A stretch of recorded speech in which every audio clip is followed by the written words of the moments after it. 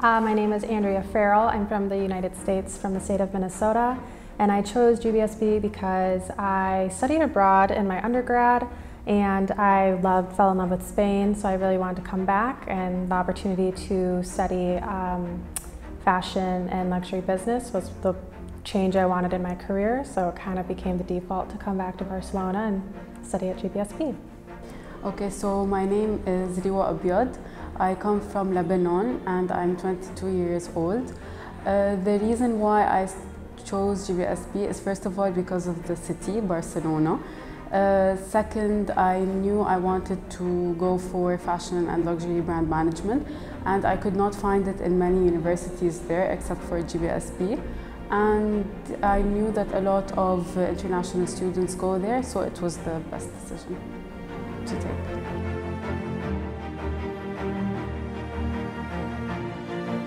Why fashion? I always knew I wanted to do fashion ever since I was young. But uh, you know, there's this stereotype where you can't be a fashion designer because it will take a lot to get there and you need a lot of money and you can't make money out of it. So I decided to play safe and go for fashion management. I specifically started to wanted to study fashion and luxury business management because um, I wanted a change in my career. My background is in digital marketing for consumer packaged goods, but I feel I've always had a passion for the luxury business and the fashion industry. I love the way it's so creative and beautiful and like inspiring, aspiring even. Um, so it's just somewhere I wanted to see myself in the future.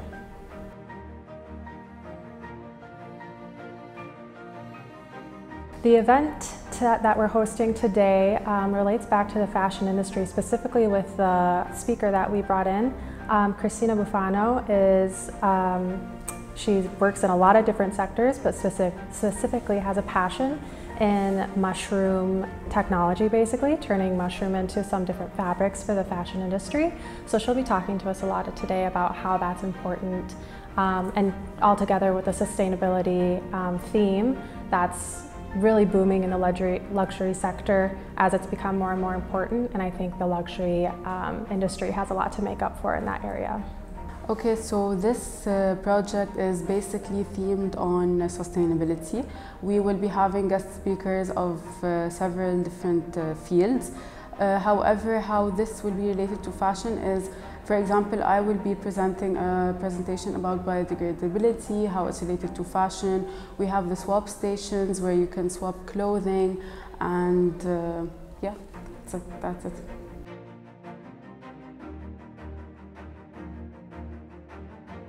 GBSB has uh, prepared me for a career in fashion by bringing in amazing professors who have the background already.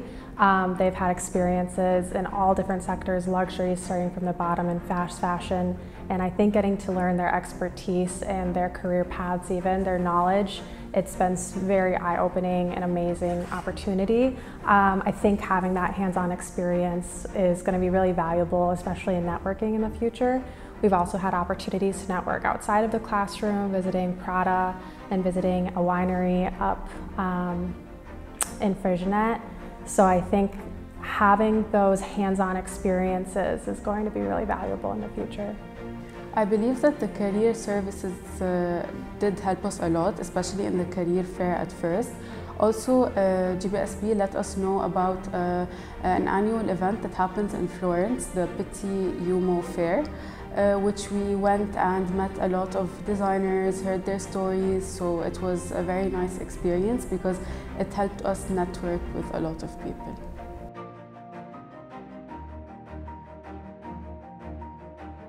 Networking, networking, networking. And passion. It's the key to get to where you want. I think the most important skill for success in fashion would be adaptability.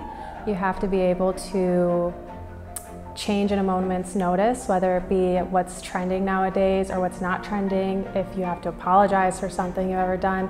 I think just being able to uh, adapt to whatever is going on is um, really important.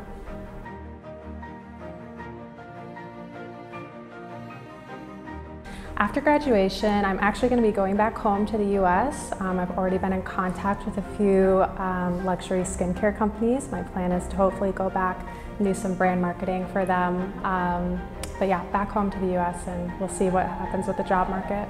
Uh, honestly, I was thinking of uh, going for an internship or searching for a job, especially in the Middle East, because I come from there and this uh, uh, industry, especially luxury, is booming there. So this is my goal for now.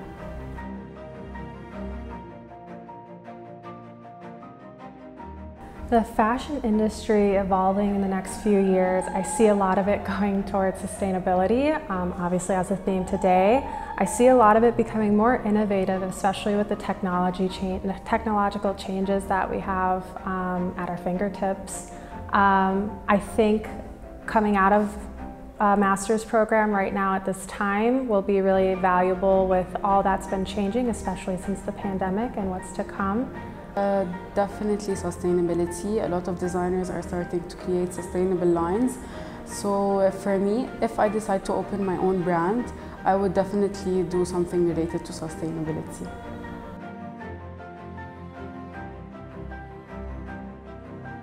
Uh, with GBSB, we went to several museums where we got to see how fashion evolved throughout the years.